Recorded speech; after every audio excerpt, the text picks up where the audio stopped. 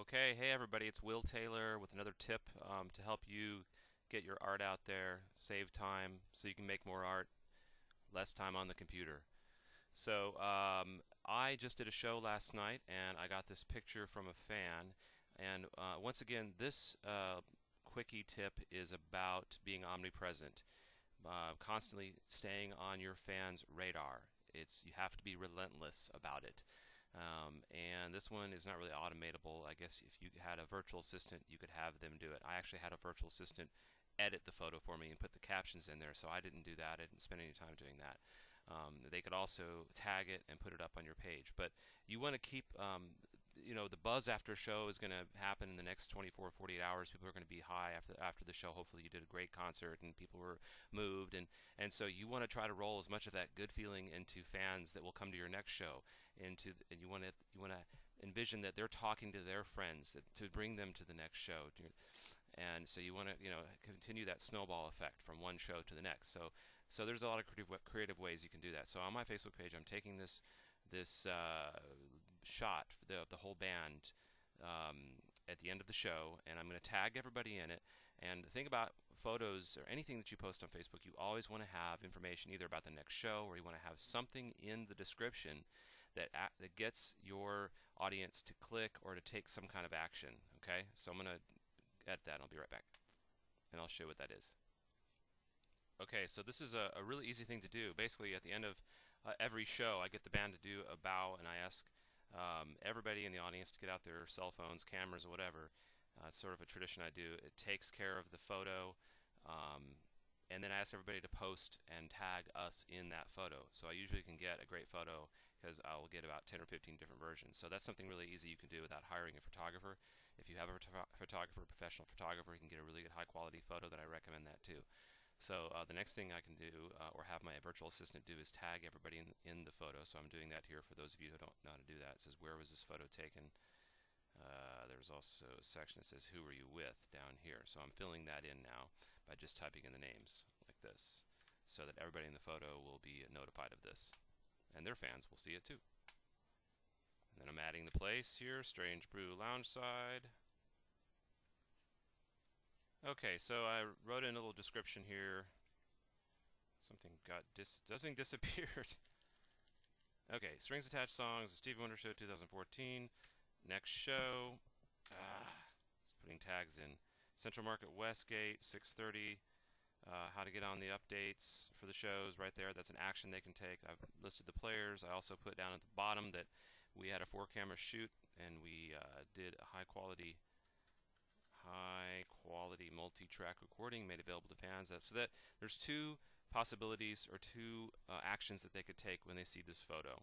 Now, if I had some quotes from somebody, like if something on Facebook was quoted, like, hey, this show was unbelievable, changed my life, blah, blah, blah, then I might put that really quick in here, into this photo. And over the next few days, I'm going to be looking for quotes like that that I can use. So the next thing I'll do after that is I'll say I'm done editing here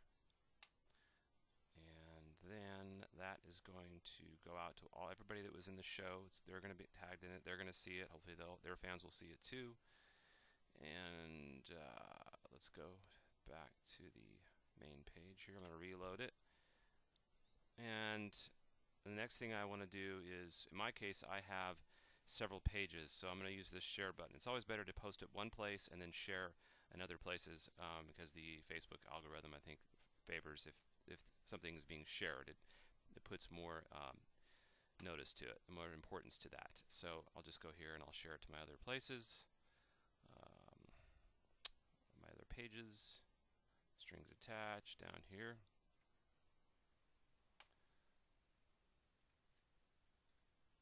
Okay, so another thing for those of you who may not know this, um, as I go over here to options and I so make pro make cover photo, just like that so I made that the cover photo. Click Save Changes.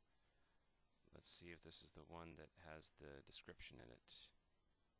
For some reason this one doesn't have the description in it, but does this one have the description in it? Nope. So I want to figure out where that is and copy and paste that in there because that is weird.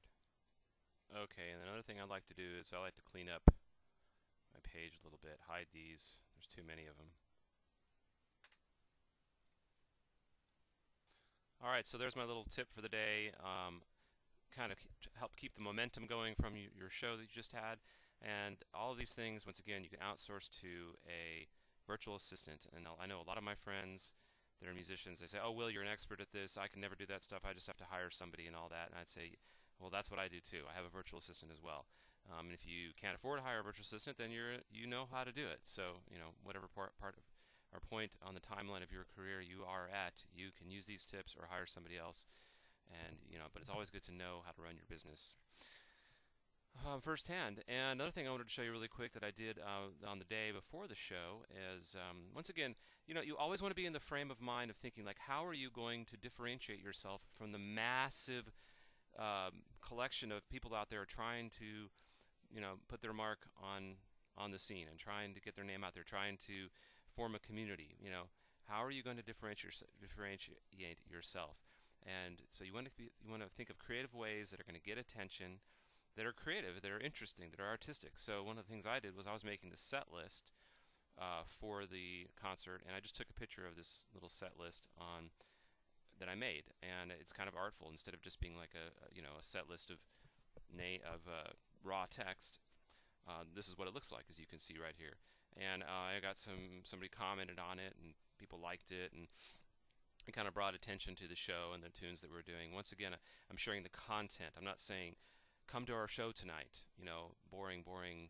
What everybody else does. You know, have a show tonight. Come see it. Are you gonna be at my show? You know, this is an artful way of sort of sticking out from the crowd, and um, it kind of sticks in people's minds. There's all kinds of different ways to do that, and um, I'll be sharing those on the tips. So thanks for watching this tip. Please share with your friends, and I will be once again having a, a boot camp on how to automate your business for your creative life so that you have more time to create, do your art, and make money doing this, and be more empowered and enjoy life more. So tell people about it, sign up on the link below, and we'll be announcing the class in the next two to six weeks. Thanks a lot.